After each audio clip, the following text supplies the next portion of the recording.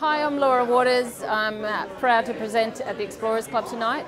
I'm going to be talking about a journey I did about four years ago, hiking from one end of New Zealand to the other, which is a 3,000 kilometre journey over five months. Um, it was a bit of a life-changing journey for me. There's a lot of challenges to overcome, uh, a lot of unbridged river crossings and high mountains and all sorts of exciting things happened. But it was a trip that fundamentally changed the course of my life and it was a fantastic adventure. I'm going to talk about the physical journey, but also the internal journey because you don't do, you don't spend sort of five months out in the wilds and not have it change you in some way. Um, so when I became aware of this trek, I'd been working for eight years as an executive assistant to a CEO in Melbourne. And um, I'd always been looking for an adventure. Just in the back of my mind, I was thinking, surely there must be more to life. I can do more than this. And I was reading in a hiking magazine about this new trail that had just opened, Te Araroa, and it goes, oh, wait a minute, what's happening there? Um, from the very top of New Zealand all the way down to the bottom. It sort of links up, it opened in late uh, 2011, links up a lot of pre-existing wilderness trails, and then there's some backcountry roads and some other miscellaneous bits. Um, yeah, so I knew there were going to be a lot of challenges on this um, walk. New Zealand's not the easiest to walk. Place to walk, and I ordered the guidebook, and it had scary phrases in it like this. In places, it's a hand over hand descent, but without exposure in the mountaineering sense of hanging out over a drop. And I was like, hmm, what does that mean exactly? Um, so that was a bit freaky. And if you know anything about contour lines, um, this is steep these contour lines are so close together they're almost touching. So, and I knew there was going to be a lot of unbridged river crossings as well. So I was kind of freaking out about the whole thing and not feeling very confident about it. So, enter my friend Belle, and um, I coerced a girlfriend to come with me because I thought, well, we can we can share this challenge together. So, just to give you a little bit of backstory, before I did this trip, I wasn't in an amazing headspace. I was feeling really overwhelmed by all of the, the noise and the constant stimulation that you get in the city.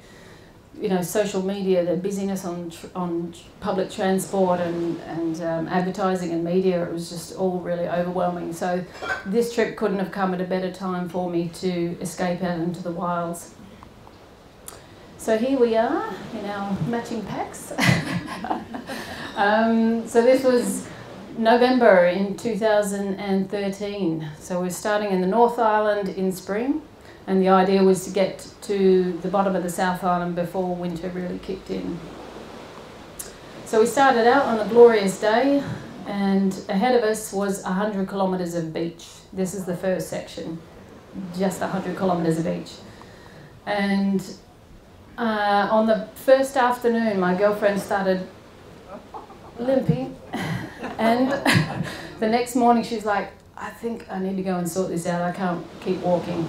So off I went on my first ever solo overnight hike and my first ever hike over 65 kilometres. All I'd done before was the overland track in Tassie, and this first first section was 100 k's. Uh, so my girlfriend said, "I'm going to go back to town and see a doctor, and I'll meet you at the other end." And so I was like, "Okay." And it's a really long beach. it's just, this is your view for four days. And, you know, I'd heard from a lot of, a few other hikers who had gone before me um, that, you know, oh, the sand's too hard, it's too soft, it's boring. But I loved it. I, you know, especially after what I was dealing with in Melbourne, to have all of this space and all I could hear was that and the birds, and I found all these little discoveries and just beauty everywhere. And I loved having all of that space to myself as well. So yeah, as I say, it was just me and, and the waves. I could set my tent up wherever I felt, you know, there was there was no rules out there. There's nothing to say, this is the end of your day, this is where you camp. So I just gathered water from streams and had the time of my life. So in four and a half days, I walked the first 400 k's, and I rendezvoused with my friend, and she said, "Yeah, I'm still not still not great. I think I'll I think I'll fly home and see my usual doctor. And I was like, mm, okay. So um, she said, but I'll, I'll come back. And um, I did the next section, which was from the west coast across the northern forest to the east coast, past a lot of big kauri trees. And by chance, I bumped into two other hikers um, who were also attempting the trek. So for that section, I walked with them. And it's really dense forest there. It's very slippery and muddy, and uh, you know, I really the, the leaves clattered when you when you brushed past them. I really almost expected to come across David Attenborough and a bunch of gorillas there. It was that kind of forest, if you know what I mean. And I, I don't know if you can grasp the steepness of it here, but there's my friend trying to reach down for some for some solid ground. So it's really challenging hiking. And you where you how you know where the trail trail is? Yeah, that's a good question. Sometimes you don't. Um, we had you can download all the maps and trail notes off off the website, but it's not very well marked. I mean, in this section, sometimes you don't see the track. You just kind of sense does this feel right or does it not? But yeah, it's a bit of a challenge at times. So um, in that, I was doing it in the second, third season of this trail being officially open, and maybe about 100 people attempted it that season. But because of the weather window, a lot of people are sort of leaving at the same time. So at this point, I met a few other hikers that we would sort of pass and leapfrog and we would walk together and then we wouldn't. So this this is a sort of the group that I sort of leapfrogged, you know, throughout the length of New Zealand. Now those first three weeks were pretty tough. Um, everything hurt. I had blisters my body hurt just lying down even. Um, and I thought, I never thought about giving up, but I did think I might have a miserable five months ahead of me. Now, in the northern forest, it's so steep and the tracks are so eroded sometimes it's just easier to walk in the river itself. And sometimes you might be doing that for a couple of hours at a time, and you know, from ankle deep up to thigh deep but it's infinitely better than trying to drag yourself over tree trunks and slippery off camber tracks. The trail has been designed as a cultural, natural, and historical trail of the country. So it's not just all backcountry trails. Sometimes you're doing these, um, you know, gravel roads and going past farms and you know meeting the people in the country, which is which is great. And before I went to do this trip, when I think of New Zealand, I thought of big snow-covered mountains and you know gnarly, gnarly hills, but there's also these beautiful little coastal settlements as well. And it was in one of these coastal spots about 300 kilometres in that I finally got the email from my friend saying she wasn't coming back. and so, although I wasn't physically on my, own, I was you know, emotionally on my own. And I never knew if the people with me were going to stick with me or they were going to skip bits or drop out. So from there on, I had to sort of put on my big girl pants and push on. But uh, on this particular day, I knew there were some friends ahead of me, and I thought if I can walk 40 kilometres in a day, I'll catch up with them. And before I started this trip, I'd heard of other people doing 40 kilometre days, and I was like, that is ridiculous. I will not be doing that. Thank you. And then I did it. And it wasn't that bad. You know, get used to it. So I caught up with my buddies. And there's a lot of estuaries to cross in the north, um, in the North Island that lead out to the sea. And sometimes the waterways are a little bit bigger than an estuary. And th this is a segment from the actual trail notes. You have to hitchhike on a boat. Just convince some fishermen to take you across.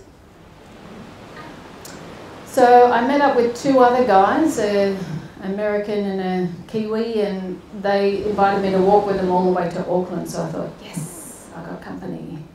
I'll be safe. So a lot of lovely beach walking, some volcanic forests, and some muddy kauri forests, and eventually we made it to Auckland. And by this time, my body's starting to get used to it. You know, the the cankles have subsided and my body's feeling pretty strong. And I thought, you know, I mean, that sort of distance is far beyond anything I'd done before, so it was pretty cool to get there. But I have to say, it was a bit of a shock to the system to be back in the city again. It took me, you know, four, four or five weeks to get to Auckland.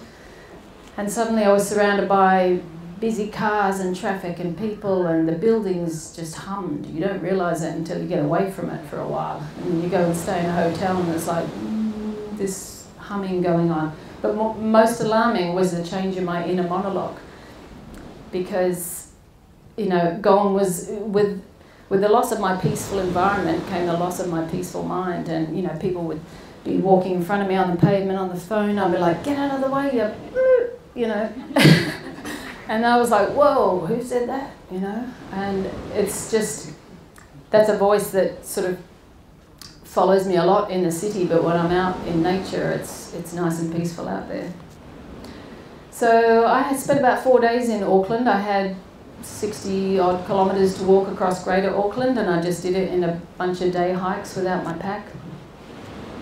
And I was feeling pretty nervous about pushing on on my own beyond that. And at the 11th hour, I got an invitation from two other guys to, to walk with them for a bit. So I was uh, relieved again to have company. I'll just talk a bit about camping. In the North Island, um, most of the time you're just camping in a tent. Uh, in the South Island, there's a lot of huts, which is cool. Uh, but in the North Island, you're just trying to grab whatever land you can. And sometimes you, you know, get a fantastic spot like this, and other times you, you're just in some logging wasteland. But uh, you make do with what you can. Sometimes you end up in a sculpture park at the base of a power station. But um, yeah, and then other times you get a kind invite by the by the locals that you just meet along the way. Um, I spent a, a night at a, a sheep farm, which was really enlightening. We met this couple and they showed us all of their sheep operations and met the dogs. And then a few days later, um, we came across some Maori sheep shearers and they showed us a little bit more about their life. So it was a really great opportunity to meet the people um, and just see what, you know, what New Zealand life is, is about. In terms of trails, you're really happy if you get a day like this with a nice clear trail, space for your head, um, flat. More often than not, it's a little bit more challenging than that. Um, this particular forest was just absolutely choked with vines. And, you know, it's really amusing for the first hour, you know, you're um, pretending to garrot yourself, but uh, after three hours of that, it's less, less exciting. Sometimes you don't see the trail so much as just sense it. Um, and you can just get swallowed up by the foliage. Honestly, I had so many scratches, I had branches breaking off in my hair. It was crazy. Sometimes there's a lot of tree fall, and you're like, well, I can either climb over it with my pack or I can get on my hands and knees in the mud and crawl under it, you know. So it's, it's not easy walking over there. Tree roots, that's another common ground surface. But what I did like about it was the simplicity of life on the trail. Um, all I had to do was walk every day. I would gather water from a stream or from, you know, waterfalls like this you wash in the stream. It's just a really simple way of living. So by Boxing Day, I was about to go into the Tongariro Alpine Crossing. I don't know if any of you have done that section. This is what it looks like on a good day. High, volcanic, alpine desert, totally stunning. This is what it looked like when I was there. It had its own charm. Walking up to Red Crater there.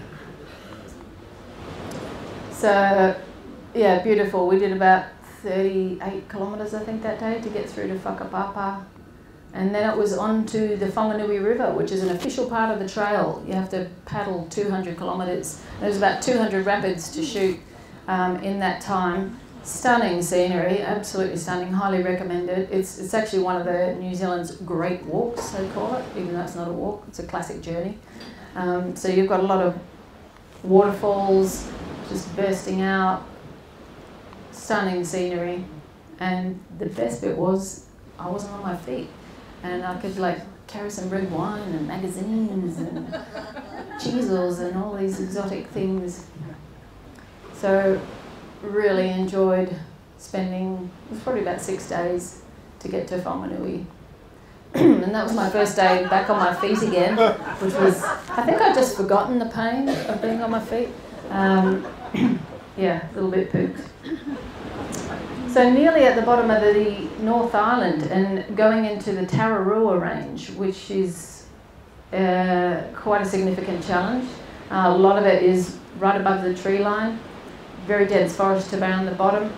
There's, it's renowned for being windy because of the, uh, the wind funnels through the North and the South Island. So um, you've got to have good weather for it. So we were carrying about eight days of food going into this section just in case the weather held us hostage. Um, the, the low-lying forests were just absolutely covered in, in mosses and, and ferns, festooned with water. And then up high, um, it gets a whole lot windier and more exposed. And there was one morning we woke up in a hut and we could hear the wind and we're like, well, is that normal Tararua windy or is that dangerous windy? And we thought, we're not going to know until we get up there. So we went up there and found out it was dangerous windy. And honestly, you, you just, the wind sounded like a jet engine in my ears. It was just screaming, and my eyes were streaming, and I couldn't see. And you'd literally just take a few steps and then sort of hang on to the, you know, hanging on to fistfuls of tussock grass, trying to hang on. And then when the, the gusts ease, you'd stagger a little bit more. And I actually got pushed over onto my bum twice, just blown straight over. Uh, it was actually quite surreal. I've just never experienced anything like that before. But eventually we, uh, you know, the, the, the, following day the winds passed a little bit and I could, the, the fog cleared and I could see the ranges and um, it's just absolutely stunning. It's not the place you want to be in bad weather, but um, in good weather, it's stunning. But as you can see, you feel very small in that kind of environment. And then I reached Wellington, woohoo! Bottom of the North Island. So I regrouped with a couple of hikers that I'd met in the Tararuas and may or may not have had some champagne, I don't know. Um, so it was a celebration halfway there. Um, I was celebrating that, but I was thinking about the South Island to come, and I knew that there was going to be some significant challenges there. That's where the mountains are, you know, bigger mountains. Um, that's where there are longer stretches between civilizations, so we're going to be tested a little bit more. It started off easy in the Queen Charlotte track, um, which is a, a, popular short track. Um, it felt like the tropics when we arrived. You know, we had dolphins accompanying us on the, the water taxi here, um, cicadas and birdsong in the trees. I had three days of lovely, easy walking, sort of ridge tops with beautiful views over the Marlborough Sound. So lovely walking there. And there was a bar en route, go figure. Um, so that was a real treat, just five minutes from our campsite. nice glass of wine. And while we're enjoying a glass of wine, killer whales. Pretty happy about that. So the barman just took us in a little dinghy and just got us out a little bit closer, not too close, but just close enough to have a, a closer look. And uh, that was pretty magic. And so, you know, it had been just such a wonderful introduction to the South Island. And as we were staggering back to our tents at night, I thought, well, how, how can anything top this? It's been a fabulous day. And as we're walking back in the dark, we noticed all these little green dots in the trees, and it was glowworms everywhere. It was magic. Um, now in the South Island there's a lot more rivers to cross and if you're lucky you'll end up with a lovely bridge like this one. You're less lucky you'll end up with a, a three wire bridge which is walking on one bridge and walking on one wire and hanging on to the other two. Now the Richmond Ranges was sort of the first of the big serious challenges in the South Island. So it's at the north of the South Island it's rugged and the marked is unformed in places, summits consistently above 1500 metres and the track has many steep exposed sections and stream crossings. So we were hoping for good weather and thankfully we got it because it would have been a whole different world without, but it was still quite challenging with no real ground trail to follow, and um, a lot of scrambling. It's quite steep at times, which is fine in, in good weather, but you know if the visibility starts to go a bit, it really ups ups the stakes a bit. Now, when we got to the top of the ridge, and I was like, great, flat ground. Okay, where do we go from here?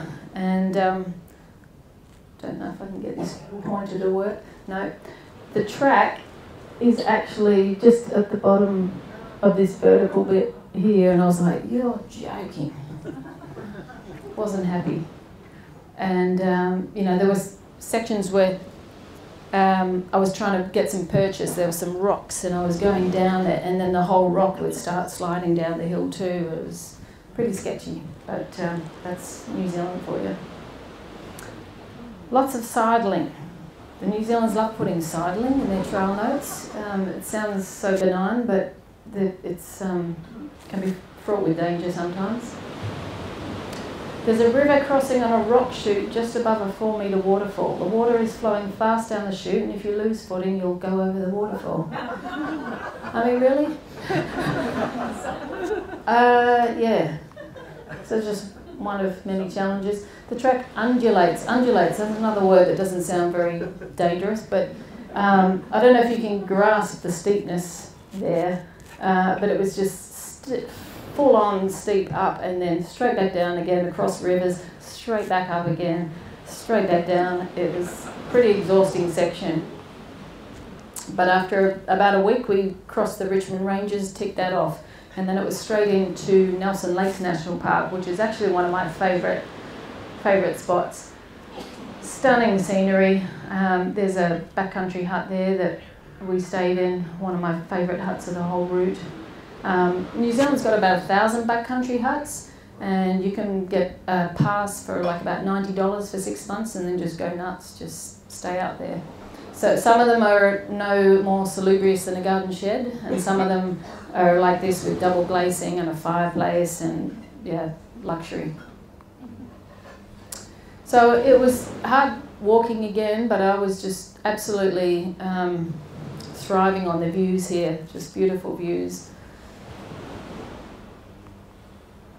So once again, not easy hiking, not really defined trails, but um, you know, visually very rewarding.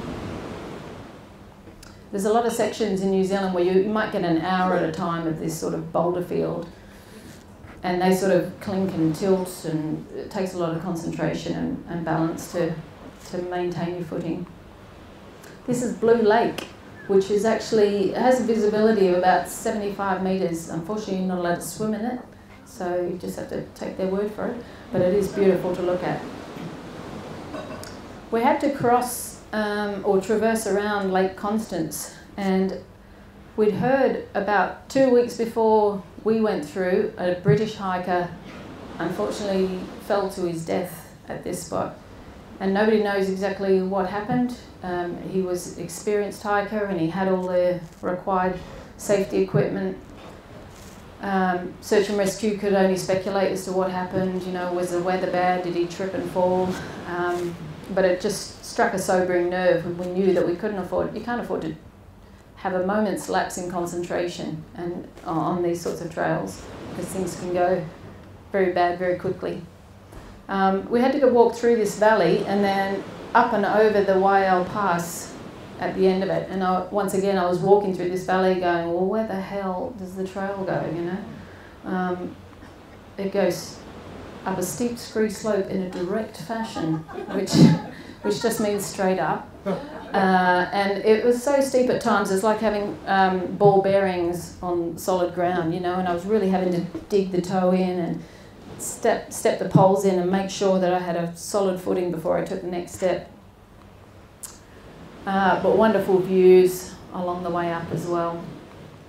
And eventually we got to the top of the pass, and this is the kind of view you get, which I, I just loved it up there. Coming down was another matter. If you remember the map I showed you at the front with the contour lines, this is what it looks like. And it's, it's almost rock climbing to get down. So I was pretty happy to finally reached the bottom of that.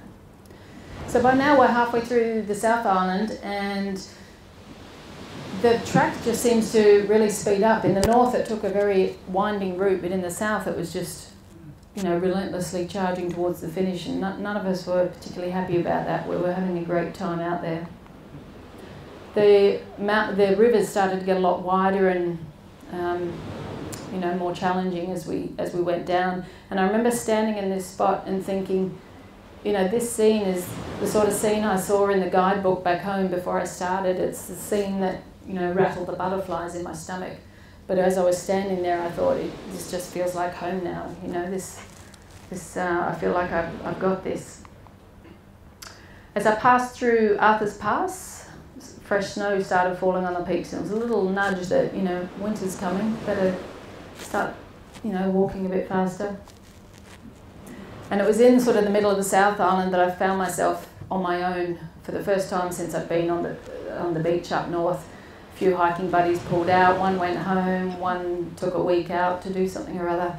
And so I was about to go into this eight day section, and it was one of the most challenging parts of the whole trail actually. I knew from reports ahead of me, of you know, from hikers ahead, that I had about 60 river crossings to do in that week. There was going to be un, untracked terrain that I'd have to walk through, so there'd be navigational challenges, I heard there was chest high tussock grass to deal with, and a crossing of the Rangitata River, which is considered a major hazard zone on the route. Um, and when I was reading about this this river crossing before I left home, you know, they warned about, oh, you know, the river levels can change really quickly. We don't recommend you walk across it. And I'm like, you know, how bad can it be? It's a river. I'll just bolt across it. You know, this river took me two hours to get across. It was about three or four kilometres, and there's all of these separate waterways, so you might cross one and then you get to the next one and it could be too deep. Um, so, yeah, it's not to be taken lightly. Anyway, so uh, this was my first night at Comyns Hut, um, and all was going well. It was sunny and warm, and I was uh, sh- sheltering from the sun inside the hut, looking out at the mountains. I had a shower, uh, had a shower, had a wash in the river, washed all my clothes, and they dried in the space of half an hour. It was so warm. The next morning, I headed off on my own again, and I'm thinking, yeah, this is going all right. Um, I haven't got myself lost yet, and everything's going fine. By the end of the day, I could see these rain clouds building, and I felt a wall of icy air come towards me, and I thought, well, I've only got about half an hour to go to the hut, you know. Um, you know, maybe I'll get wet, but how bad can it get? And I, I don't have any photos of what happened next because I was too busy trying to survive. Um, but the rain hit me and there were balls of ice in it, and I was like, hail, great. And then about a minute later, that turned to snow, and I was like walking faster and thinking, come on, come on, I'm going to hurry up and get to this hut and the wind picked up and it was just bitter and my temperature just started plummeting like a stone my hands went numb and um, i knew the next hut was in the words of the uh, trail notes tucked away up a side stream so i didn't want to miss it but the air was just white um, with snow and my fingers got so numb i honestly believe you could have chopped them off and i wouldn't have felt them they were just completely numb and I was trying to press the buttons on my GPS and I couldn't tell if I was touching it or just pressing it until the screen responded. It was it was um, kind of crazy. And then eventually I saw the turn off to the hut. I had a couple of rivers to cross. I didn't trust myself to rock hop because my feet were numb as well. And so I just wa- waded through the water and the water felt warm on my feet. And I eventually um, got to the hut. This is a few hours later and you can see all the snow on the peaks. And it, you know, you hear about this all the time about how New Zealand weather can change so quickly, but to experience it firsthand, it was really sobering. Um, when I got to this hut, there was a French guy in there, and I couldn't undo the clips on my pack. They were all encrusted with ice, and my fingers were numb. So he uh, got a fire going, and I had some hot soup, and things started to look better. So in the morning, I went back out and I went to fill my water bottles up in that in that stream, and the, the water was actually painfully cold on my hands. the same water that had felt warm the night before. So it was sobering, but it was really beautiful, and it was another little lesson locked away in my head about how to deal with the New Zealand wilderness. So for a couple of days, I walked with this French guy through the Canterbury High Plains, and it was blissfully easy walking because it was nice and flat. And you had all the mountains and the pretty stuff on the side. We climbed again and stayed at this hut. And the next morning, I noticed a lot of fresh snow on the peaks, and I'm like, ah, I don't know if I want to keep walking today because we we were about we were approaching the highest point of the whole trail, about 1900 meters, and um, my buddy was like, nah, it'll be fine, it'll be fine. And I'm like, eh. you know, I looked at the clouds and I thought they look familiar. They look like the same clouds I saw a couple of days ago. And the, the pain was still fresh in my mind. And I was like, do I or don't I go? And it was a bit of a turning point for me because at that point I said, no, I'm not going to go. And it's the first time that I followed my own intuition, my own gut instead of just following somebody to stick with them for company. Um, and as my buddy was lacing up his shoes, it started snowing again, and we both went back to bed. Except I might have come out for a little play later. And then later on in the afternoon, it cleared again, and he was, my buddy's ready to go, and I'm like, no, it's really nice here in the sun. Maybe I'll just like hang out. And then he said, I'll lend you my gloves, and I'm like, done. so I really rugged up. I put his gloves on, and out we went. And we did get caught in the snow again, but this time I was bundled up for it and could kind of um, enjoy the, the drama of the of the wilds. And we made it just far enough to get to Royal Hut, this 100 year old corrugated iron box in the middle of a high, high valley. And there we stayed for three nights while the wind howled around us and the snow dumped. And um, it's, that's a long time to spend in a hut when the snow is blowing in and gathering in the, in the framework. Uh, very freezing. We just stayed in bed, talked rubbish, um, read magazines from the 1980s that had been left behind in there. Um, Nat Geos and Reader's Digest. Um, on the third afternoon, a couple of friends turned up, the ones that I walked with to Auckland, and they had a radio and we tried to get some cover to see what the forecast was like. And thankfully, this was the next morning, and I was like, I am out of here. So I started climbing up to, to Stag Saddle so this is the highest point of the entire trail and it was warm and just beautiful weather and beautiful scenery as well. So we just walked down, that's Lake Tekapo in the distance, signalling the end of that eight day section. And on that last night, I camped up high and I sort of reflected on the week that had been and I'd so much had happened in that week and I'd faced so many challenges, but I got through it and it was, it was just a bit of a, a turning point for me. And so I carried on walking on my own now and I'm not worried about being on my own. I camped on the edges of Lake Pukaki and I've got views of uh, Mount Cook there. Took me a couple of days to walk around the edge of that lake and headed into the Ahuriri River Valley, which is another really remote section but I had everything I needed. I had water, I had food, I had somewhere to camp. Um, so I was just really enjoying having all that space to myself. Just putting my tent up wherever I feel. Still a few more challenging sections, but um, I could deal with it by then. So now I'm almost near the end. Um, at uh, Wanaka here, and there's the Motatapu track connects Wanaka and Queenstown, two ski towns. Really steep mountains here. And um, if you can see on that top picture, the track goes right over the top of that knife ridge. So really exposed. You don't want to be there in strong winds. awesome huts on that section. Apparently Shania Twain and her uh, partner own a lot of their stations around here, and so part of the deal was they had to construct all these awesome huts. So thank you, Shania. Um, I was in one of these huts that I had a bit of an epiphany one night because as I was so close to the end, I was starting to get anxious again about going back to the city and I didn't want to go. You know, I'd been walking for four months and that sort of lifestyle, a, a habit that you practice for that length of time is just becomes a new way of living. And I've never been happier than I was with one bag of belongings, one outfit, no makeup, no mirrors, no media, no rubbish. And I was lying in bed one night and feeling the anxiety come back, and I'm like, what is this about? You're in a beautiful place right now. And this voice said, I'm scared of not being me. And I was like, well, that's it. You know, I didn't want to go back to my old job in the city.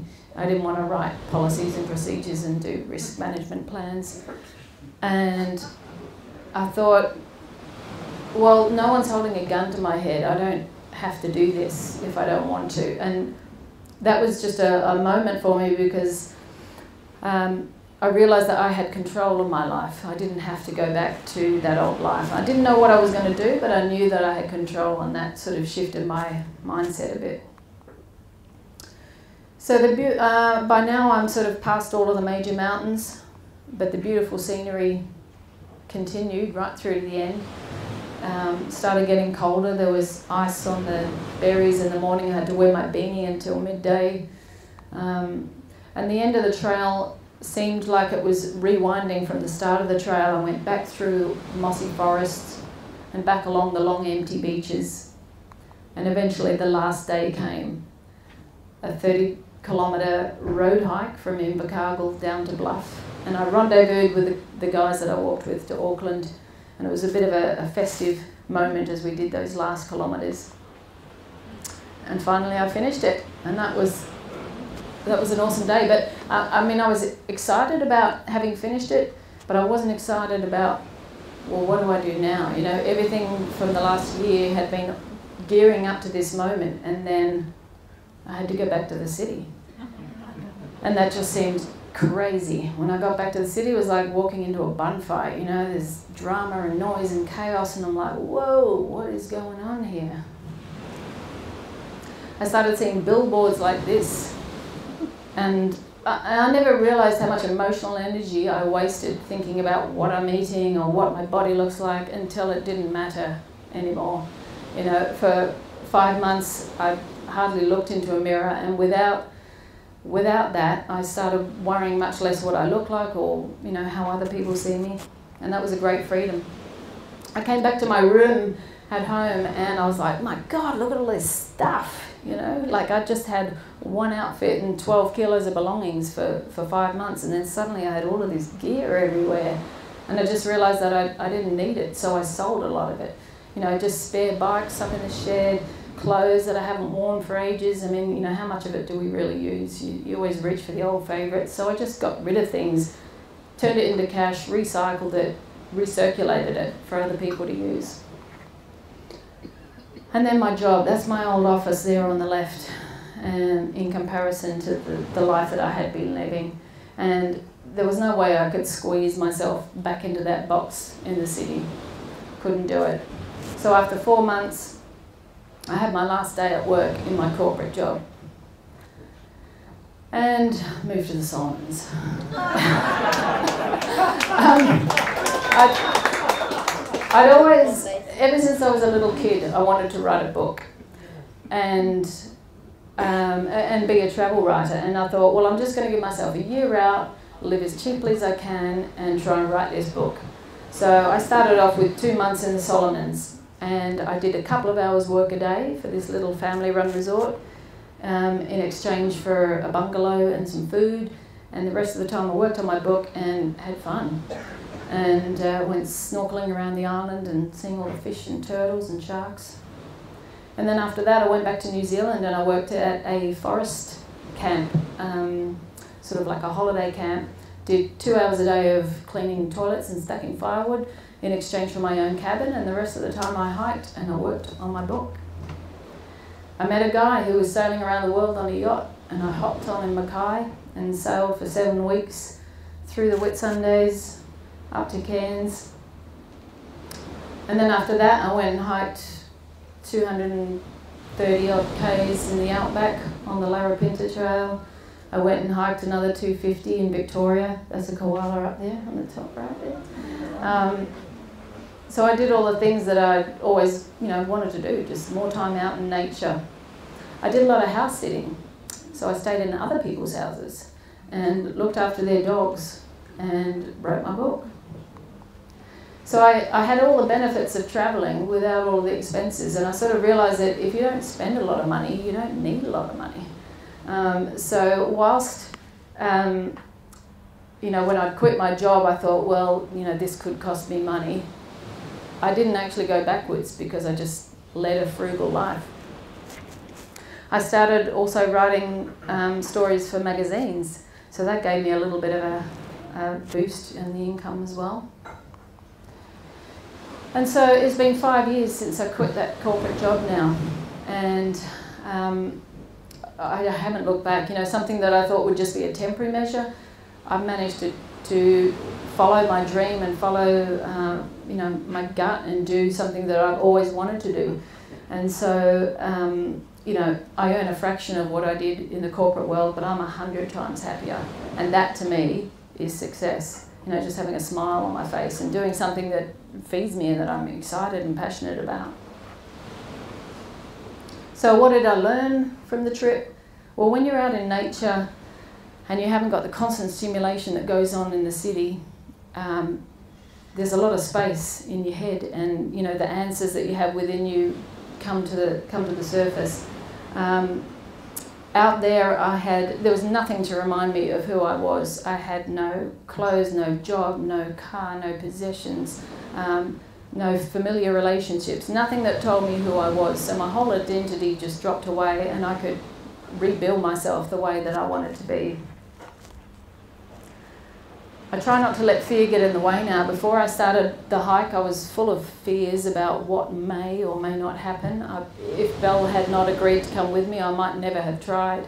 So I'm, I'm grateful that, that she got me as far as she did. Um, yeah, I just find that you know fear is a bit of a, a waste of energy sometimes. There's more fear in the imagining of something than in the reality of it. So now I just you know get to a situation and just try and think through it logically and trusting your intuition. When I first started hiking, I would just do anything to stick with other people and I'd just go along with what they were doing. And it may or may not have been the right decision, but now I just I listen to myself and I do what I think I need to do, and that seems to work. But ultimately, it's about you know getting on my track, and all of the adventures that I've had over the last five years, they never would have happened if I'd stayed in that safe job in the city. Um, I never would have become a travel writer and an author and achieved the things that I wanted to do since I was a kid if I'd stayed in that office job. So there we go.